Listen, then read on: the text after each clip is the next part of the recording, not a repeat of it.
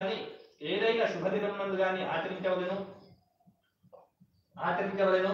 దీనిని శక్తి గల వారు ప్రతి నెల నెల ఆచరించవచ్చును. శక్తి లేని వారు సంవత్సరంలో ఒక రోజైనను ఎప్పుడైనా జరుపుకోవచ్చును. ఏకాదశి రోజు గాని పౌర్ణమి రోజు గాని సూర్య చంద్ర సంగ్రహణ రోజు గాని చేసుకోవలను. ఉదయాన్నే సూర్యోదయ తూర్పు మీద లేచి దంత దవనారి స్నాన నిత్య కృత్యములను నిర్వర్తించి శుచిర్భూతుడై భగవంతునికి నమస్కరించి స్వామి సత్యనారాయణ నీ అనుగ్రహ ప్రాప్తికై భక్తి శ్రద్ధలతో మేము సత్యనారాయణ వ్రతం చేస్తున్నాము. నాపై దయచూపుము అంటూ నిశ్చలమైన భగవంతుణ్ణి ధ్యానించాలి. ఇట్లు ధ్యానించిన పిమ్మట వ్రత వ్రతము ఆరంభించాలి. ఆ ప్రదేశాన్ని ఇట్లు సంకల్పించి ఆ వ్రతాన్ని ఆరంభించాలి. వ్రతం చేసే సమయంలో అక్కడ గోమయంతో అలికి ముగ్గు పెట్టి ఆ ముగ్గుపై కొత్త వస్త్రాన్ని పేర్చి బియ్యం పోసి ఆ బియ్యంలో శక్తి బలాది రాగి గాని వెండి గాని సత్యనారాయణ స్వామిని పూజించవలెను. ఇంద్రాది అష్టదిక్పాలకులను నవగ్రహాలను ఆయా స్థలములందు ఆవాహనించి పూజించాలి.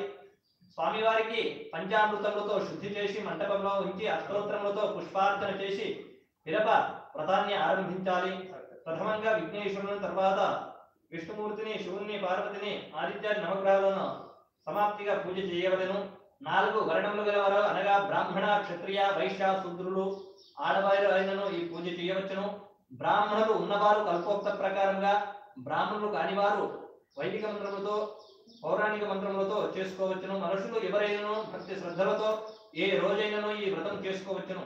కానీ పగలు ఉపవాసం నుండి సాయంకాలం నందు సత్యనారాయణ స్వామిని పూజించవలెను.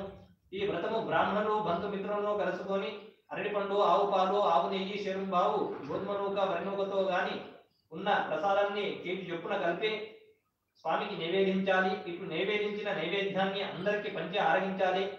బ్రాహ్మణులకు శక్తి కులాది దక్క తాంబూలు ఇచ్చి దీవెనలు అందుకునవలేను. బ్రాహ్మణులతో సహా అందరూ షట్రశోభేత భోజనాన్ని ఆరగించాలి. సత్యనారాయణ స్వామి నిత్య గీతాన్ని మహా రాజోపచారములతో సంతుష్టిని చెయ్యాలి.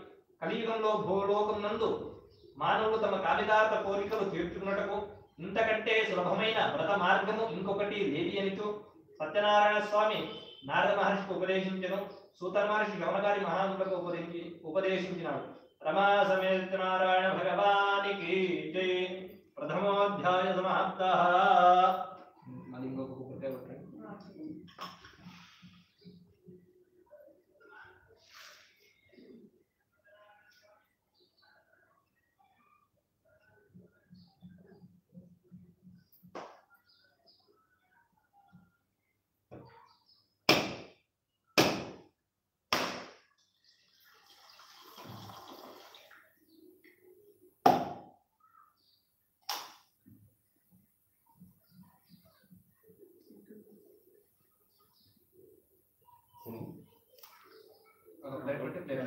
ప్లేట్లో పెట్టేద్దాం ప్లేట్ ఇవ్వండి. ఖాళీ ప్లేట్. సాయి ఒక బెషన్ నుంచి ఎందుకంటే పట్టిన లోపల పెట్టడం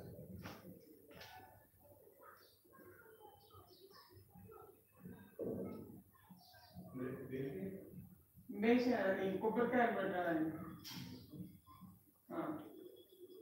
నువ్వు అది బయట కట్టేసినాము ఇల్లు ఇక్కడ సైడ్ పెట్టి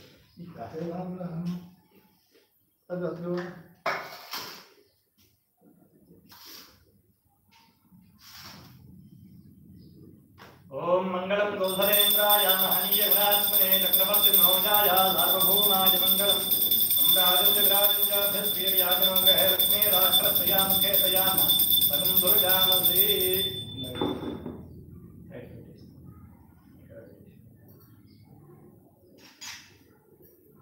రమా సమేత నారాయణ భగవానికి జై మళ్ళీ అర్థం తీసుకోండి ద్వితీయోధ్యాయం రెండో అధ్యాయం ప్రారంభమవుతుంది ఓ మునుల్లారా మీకు ఇంతవరకు వ్రతం విధానాన్ని చెప్పినాను ఆ వ్రతాన్ని ఆచరించి ఫలితం పొందిన వారి గురించి చెప్పినను శ్రద్ధగా వినండి అని సూతుడు పలికసాగిను అప్పుడు శవనకారి మహామునులు శ్రద్ధగా వినసాగిరి.